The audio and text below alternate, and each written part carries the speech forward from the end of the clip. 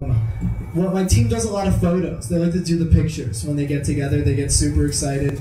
Um, we did a group photo as a team recently at the annual summit.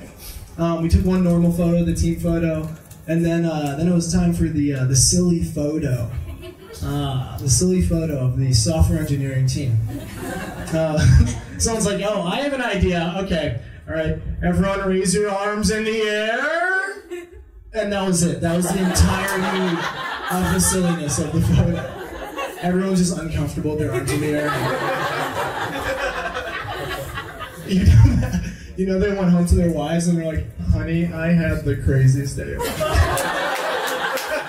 I mean, my arms were so high in the air. I was touching clouds. I mean, these two kids and their ideas, they are kooky.